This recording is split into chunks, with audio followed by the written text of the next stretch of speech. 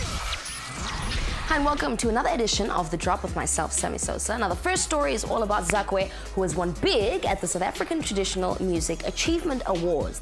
Now, the awards took place over the weekend, and according to reports, there was load shedding because the organizers had forgotten about checking on the field for the generator. Now, you know, kids, if you're going to organize an event, check the generator and the field.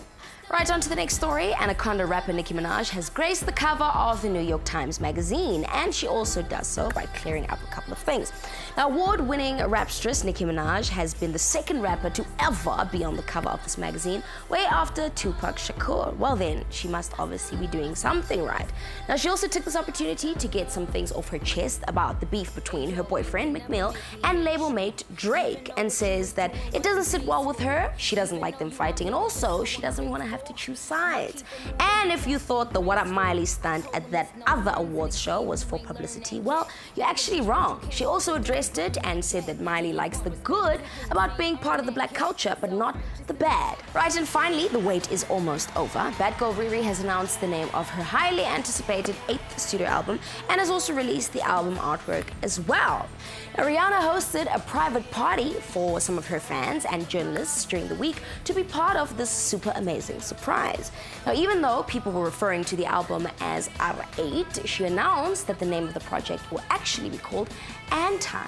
Now, the entire front and back cover is embossed with Braille, which basically translates to a poem by poet Chloe Mitchell.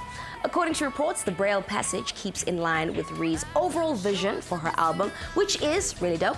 People who have sight are sometimes the people who are the blindest.